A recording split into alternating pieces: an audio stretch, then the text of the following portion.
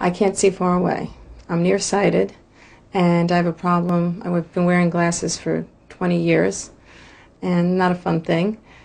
And I know a lot of people who've come to Dr. Dello Russo have had the eye surgery, and I've seen them the next day at school picking up their kids. So I looked into it, and I'm very excited. The, the beginning of, um, of uh, Sophia's examination starts with some preliminary tests. The one she's undergoing right now is our basic uh, test to determine, well, it's to measure the um, uh, what we call the refractive error, that is her amount of nearsightedness or astigmatism that she may have.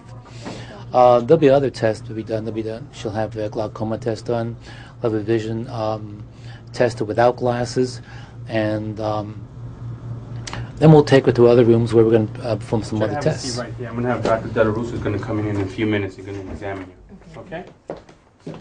This particular test is called corneal topography or mapping of the natural contours of the eye. It's particularly important um, for us prior to surgery, uh, basically to rule out um, diseased corneas, corneas that are misshapen. And that's what we're going to be doing right now. Michael's going to be doing this test on each eye. Good. Perfect. To have the surgery, your eyes have to be totally healthy, right?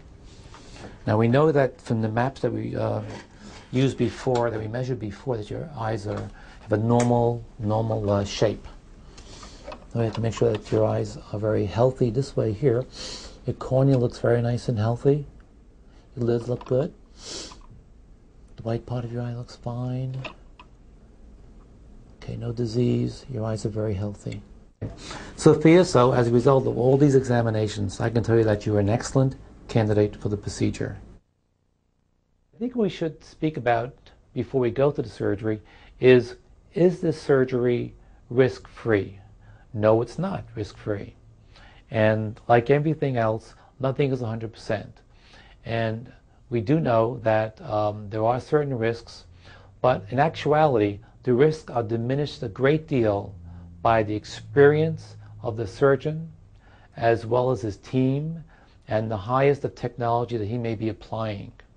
For example, we think, for example, that uh, contact lenses are risk-free, right? Well, any, anybody who's ever had an ulcer from a, from a uh, contact lens knows it's not risk-free.